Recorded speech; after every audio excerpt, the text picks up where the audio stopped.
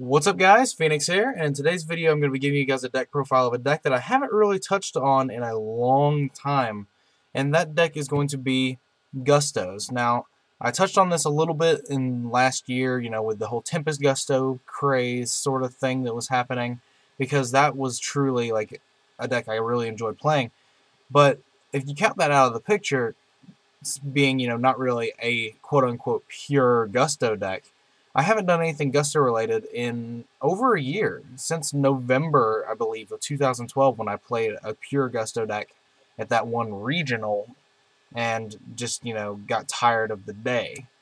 But that aside, like, I've just been having a lot of fun testing with this deck since Pyrrhica has been entered into the picture on my online testing ground. But also, since, you know, we're not getting Pyrrhica for a while, I've just been dabbling around in some old concepts that now that the format has slowed back down quite a bit may or may not actually be viable. I've had a lot of good testing ground with this deck so far, almost to the point where I'm almost willing to play this deck at the ARG Open Series in Charlotte this coming weekend that I'm going to. Um, whether or not I end up playing it, that is uh, that is yet to be determined. Um, and if you're wondering why, I do have DT copies of this, but if you're wondering why this is Hidden Arsenal, it's because they're all German. And German DT or foreign DT in general doesn't exist. And I wanted uh, German copies of it because personally I just like the extra ink that's on the foreign cards. But anyway, I'm going to get into the deck. I just extremely streamlined everything down to a point where it just flows very well. And I can almost compare it on, you know, a functional axis to like Fire Fist in the meta. Like it just reliably does what it needs to do. And you're just going to be plussing every turn while walling it behind traps. But anyway, for the deck list, uh, two Caam Serenity of Gustos, and yeah, it's just two Caam. It just allows your engine to be infinite. It's a level 4 wind psychic, so it has, you know, just plays to let you go into your level 7s um, with Goldos and things like that. Or, you know, you can, if you want to, you can overlay them into Chidori or something. Um, you only need two because once you get one in, you start infinitely recycling it. Plus, you have things like freeze and contact with gusto to you know figure into and Goldos. So it's just it's all right. Um, three gusto Goldos. He's the best recruiter because he only misses timing off tribute and synchro summoning, but it's whenever he's sent to the grave. So you can torrential with him set. Um, he can get Dark Hole. He can get bear popped. Still get his effect and that is something I really like. When you're playing against Fire Fist, you basically have to have Gulldo set at almost any given time, or on field at any given time, because that riddles out, that rules out the bear possibility. But other than that, the deck is pretty alright to pilot in that matchup. Uh, two windows. I swear, if I could get away without with not running this bitch, I would. But unfortunately, she is a little bit too necessary necessary for uh, for the infinicy of the recruiter loop. So unfortunately, one isn't enough, and three is way too goddamn many. Um, so I just run two. I mean, she she's all right in terms of attack because you can just poke for a thousand. But other than that, it's just you kind of have to entice your opponent to attack her, and I really am not a uh, a particularly big fan of that. Um, three Gusto Eagles. He just gets you into your Caam in a few months you will be able to summon Pyrrhica from the deck um, and things along that nature. Just being able to get the Caam out of the deck or just continue with your recruiter loop is very good. The fact that he's a one-star tuner also very good because he can make, you know, Mistborn Colossalus with a, with a Kamui play or something like that. Or you can normal summon him with a Caam out and go into your fives. He just, or you can normal summon it with a Gulldos and go into your freeze. Um, things along that nature are what make it very good. Uh, something that I don't think I touched on, but I really like about these is that in German, their names are predominantly untouched. Gusto is still Gusto in German, and all of their names like Eagle, Goldo, Winda, Caams, Freeze, Gulldos, um, Kamui, all that, it's all the same. It's just the words in between and the text boxes that are different. Um, so I really like that. Like, for example, uh, Triple Kamui. Hoffnung von Gusto. but yeah, triple Kamui because Kamui is a very, very crucial aspect to the deck. Being an extra copy of Eagle and Goldo is very important. Also the fact that when your opponent starts figuring out that when your you know stuff gets destroyed by battle is when all your effects will start going off and how you gain advantage many people stop attacking that even right now not many people will attack set monsters even if it's just game one so you either punish your opponent for not attacking you by flipping it and just going straight into a level 5 or getting your recruiter out or if they do attack you it's just an extra copy of uh, your recruiters because you can just get out Eagle or Goldo depending on what your situation holds um, because you have to be very proactive with knowing how many hits you're going to take from certain battles to end, you know, your field with whatever you want on it for the next turn, like if you wanted to end with a cam or whatever. But that is all the Gustos in the deck. Uh, that is 13. It's a 13 card Gusto engine. The last three monsters are two Card Car D. Uh, you just you really want to get into large hand sizes. Um, there's certain, a lot of points during the game where you are just passing your turn um, because you're just sitting behind recruiters until you gain enough advantage to just go off. And Card Car D gives you good things to do during that turn because a lot of those turns could be deemed as irrelevant if you're just drawing, setting some traps, and passing.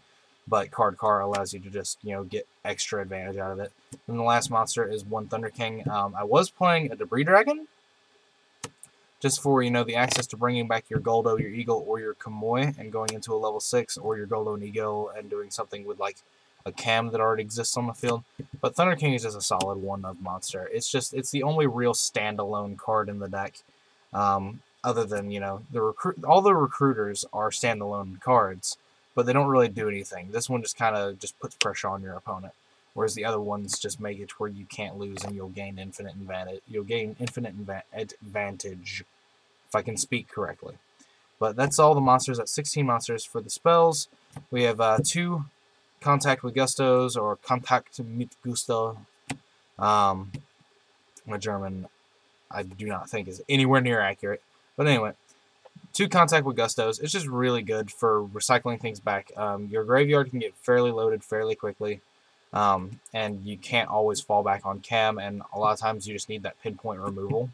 So this is just really good. Um, double of duality for searching and whatnot and triple Upstart Goblin to make the deck 37 cards effectively.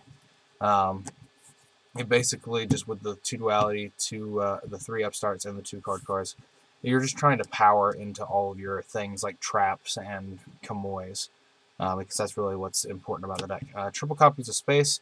You can't really risk anything to chance with this. Like you really have to be able to just go in when you need to go in. Um, also, you know, Spacing 10 key is great because Bear does not do kind things to this deck. And then the last spell is One Book of Moon. Um, I don't like Dark Hole in this. I don't like Dark Hole in anything right now. Um, if anything, you could side Dark Hole in this, but I'm not particularly sure if I'd like that either because there's a lot of times that you are just walled up behind like three different recruiters, and only one of them would be like Goldo. And you have plenty of removal with the contacts and like Raigeki Break and things like that.